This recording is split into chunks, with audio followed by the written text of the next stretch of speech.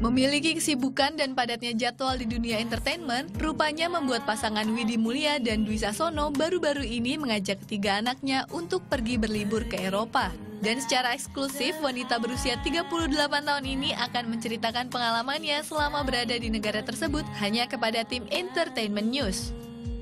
Kemarin itu pengalaman kami sekeluarga pertama kali ke Eropa ceritanya. Jadi sempat ke lima negara. Memang punya saudara di sana, ada budenya Mas Dwi. Terus eh, karena Lebaran kali ini kebetulan liburnya Mas Dwi dapat panjang. Jadi sayang kalau liburan panjang ha- hampir tiga minggu itu kalau nggak dimanfaatin. Jadi begitu udah tahu, aku udah mulai nyicil-nyicil rencana liburan yang jauh gitu. Dan memang sekaligus ke tempat saudara. Memboyong ketiga anaknya yang masih kecil, rupanya meninggalkan kesan tersendiri bagi Widi Mulia, apalagi saat dirinya beserta keluarga tinggal di apartemen. Ya bayangkan saja si anakku yang ketiga si Den Bagus kan masih dua setengah tahun. Kayak di sana tinggalnya di apartemen.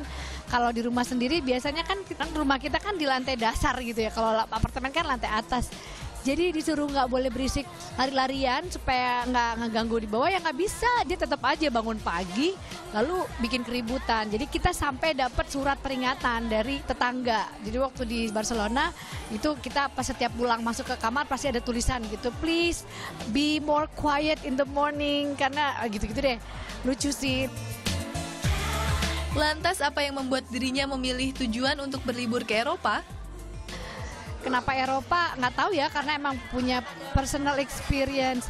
Kalau anak-anak sebenarnya ke mana pun kami pergi dan kami senang juga keliling Indonesia kan, pasti mereka senang gitu. Nah kali ini memang biasanya kita keliling Indonesia gitu ya.